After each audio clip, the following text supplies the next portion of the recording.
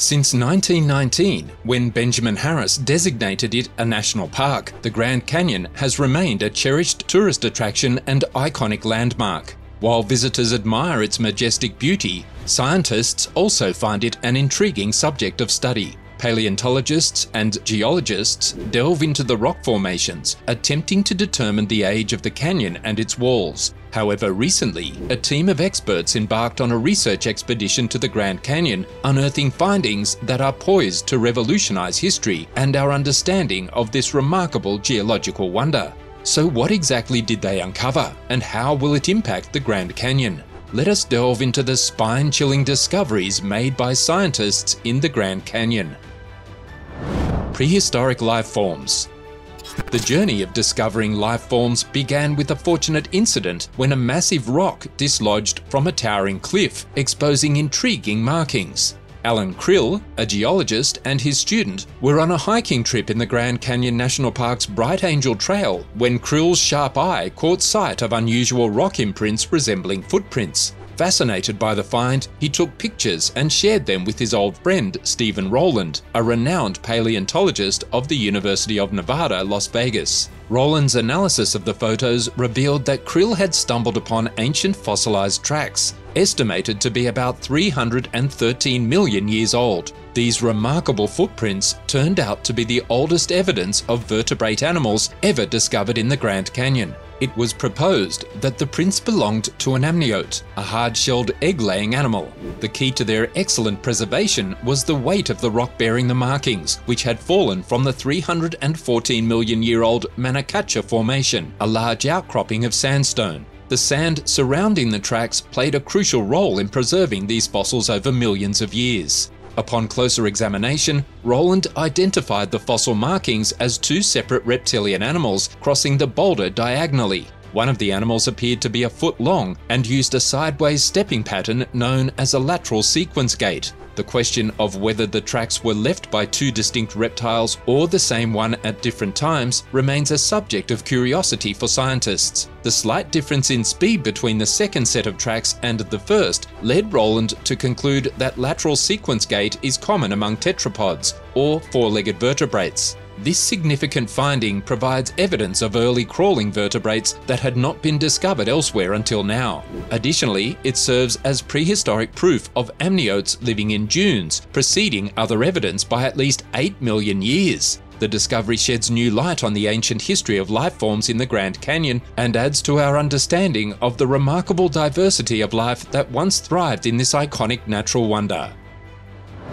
Uranium the Grand Canyon holds deep spiritual and cultural significance for 11 Native American tribes, yet it faces a threat of uranium contamination, which is unexpected in such a revered place. Numerous uranium mines and mining claims exist just outside the park boundaries. Uranium deposits are buried within layers of sandstone, siltstone, and mudstone across the southwest, including geological formations known as breccia pipes in the Grand Canyon region. Mining in this area traces back to the 1870s, and by the 1950s, uranium operations began near Grand Canyon Village at Orphan Mine, with at least eight mines operating close to the park over time. Presently, the active Canyon Mine, now known as Pinyon Plain Mine, poses a particular threat to the springs within the Grand Canyon. In the mid 2000s, the rising uranium price attracted companies seeking to extract high grade ore in the Grand Canyon area, resulting in thousands of mining claims on public lands surrounding the national park.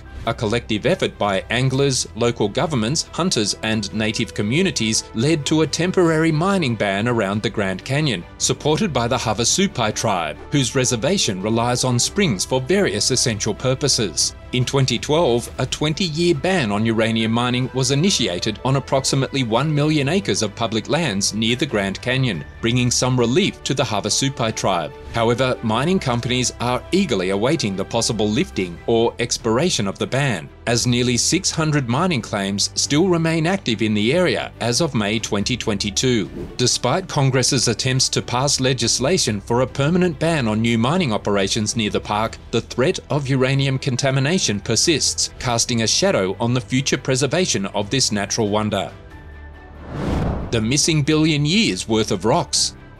For many years, experts have been intrigued by a curious phenomenon in the Grand Canyon The canyon's rock layers serve as a historical record, each representing a different era in Earth's past. However, an anomaly known as the Great Unconformity caught the attention of geologist John Wesley Powell in 1869. He noticed a significant gap where rock layers dating back over a billion years seemed to be missing from the geological record. Years later, geologists confirmed the Great Unconformity when they dated rocks with ages of 1.4 to 1.8 billion years in close proximity to rocks with ages of 520 million years. This unusual gap raised questions about what happened to the missing rocks and why such an intricate geological history existed in the Grand Canyon. Scientists proposed various explanations for this phenomenon, suggesting that over time, some rocks may have been eroded and carried away into the ocean. To investigate further, the team employed thermochronology,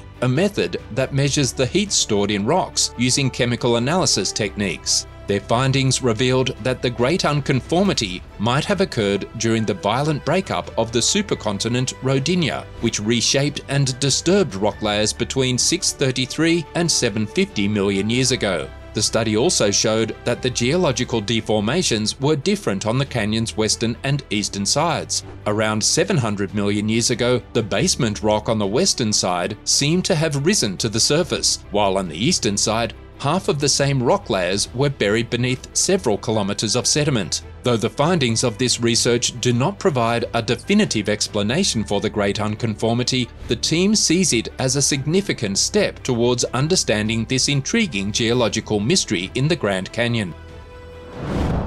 The Mysterious Caves The Grand Canyon holds another intriguing aspect, its caves. Currently, we know of slightly more than 300 discovered caves, but geologists believe that the canyon might actually hide up to 1,000 of them. The question arises what stories and treasures could these caves conceal? It's a question that has captivated the minds of many. This curiosity about hidden caverns and their secrets originates from a particular incident in 1909 the Arizona Gazette published a piece about a group of explorers from the Smithsonian Institution who allegedly stumbled upon a mysterious network of vast caves within the canyon. These caves were said to be large enough to accommodate 50,000 people, and they were filled with statues, weapons, seeds, and other treasures unlike anything known to Native Americans. In fact, the artifacts appeared to be of Tibetan or Egyptian origin. This captivating tale had everyone enthralled, and it sparked rumours of an underground Egyptian city in the Grand Canyon. However, the Smithsonian Institution has no records of such explorers mentioned in the article, and there are no relics from the supposed expedition.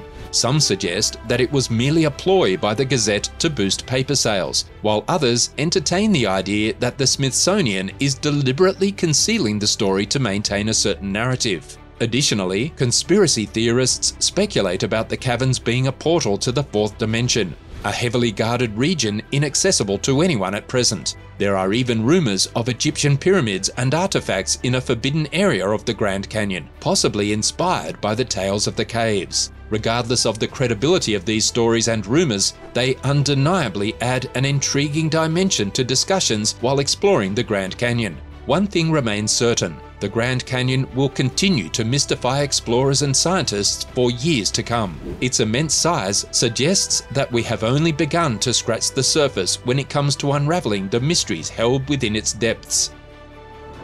The Rampart Cave Discovery the Grand Canyon caves also hold a treasure trove of various plants and animal remains, offering valuable insights into the region's history during the Ice Age. These caves vary in size, ranging from tight spaces where one must crawl on all fours to larger caverns that could host a party.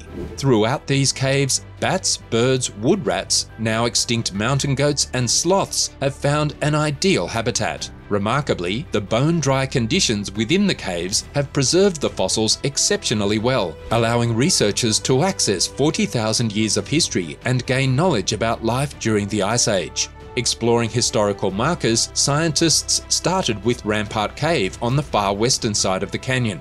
There, scientists discovered dung balls scattered across the floor, seemingly fresh, but they belonged to a 500 pound Shasta ground sloth which had been extinct for nearly 10,000 years.